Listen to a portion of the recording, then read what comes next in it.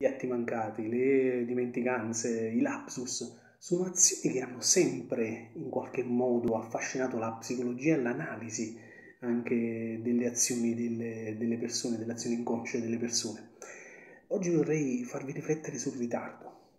Eh, avete mai pensato al fatto che il ritardo possa essere un atto di rifiuto?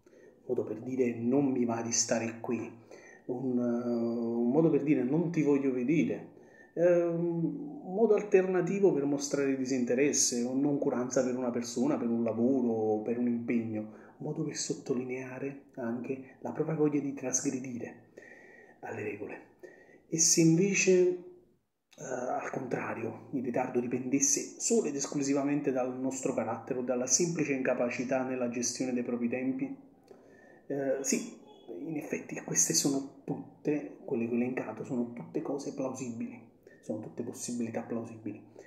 Ma voi ve lo siete mai chiesto?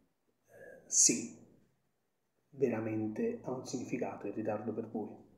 Vi definite ritardatari o puntuali? Eh, e se lo siete, quanto siete ritardatari? E in che modo fate ritardo e quando fate ritardo? E vi siete mai chiesti se i vostri ritardi a questo punto possono avere un significato? Bella domanda.